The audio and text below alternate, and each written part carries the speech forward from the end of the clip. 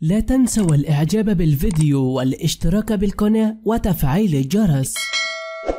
بعد اجتياح ليبيا إحصار دانيال يهدد تونس. العاصمة في ليبيا تأثرت بإحصار دانيال. من العبارات التي تصدرت اهتمام التونسيون خاصة بعد وصولها إلى ليبيا كشفت الهيئة العامة للأرصاد الجوية أن العاصفة المعروفة بدانيال تؤثر حاليا على السواحل الليبية مؤثرة على السواحل بأمطار غزيرة وتسجيلات كبيرة للأمطار وعواصف رعدية وسرعات كبيرة للرياح وارتفاع أمواج يتجاوز أربع أمتار. وأشارت هيئة الأرصاد الجوية إلى أن بقايا العاصفة دانيال سوف تصل إلى مصر وعن تساؤلات حول وصول هذه العاصفة إلى تونس معهد الرصد الجوي عن هذه الأخبار المتداولة مفيدا أن بعض الأمطار ستنزل في بعض المناطق بداية من يوم الأربعاء لا غير وتسببت العاصفة دانيال في وقت سابق من الأسبوع بهطول أمطار شديدة الغزارة أدت إلى حدوث فيضانات عارمة في أجزاء عدة من اليونان. وقد تلقت منطقة مغنيسيا الجبلية. هطول أمطار تتراوح ما بين 600 إلى 800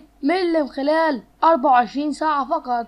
وهو أمر غير مسبوق في بيانات الأرصاد الجوية اليونانية وبالمثل تأثرت أيضا إسطنبول في تركيا وبلغاريا بفيضانات وسيول جراء هطول الأمطار الغزيرة والتي أدت إلى وقوع الوفيات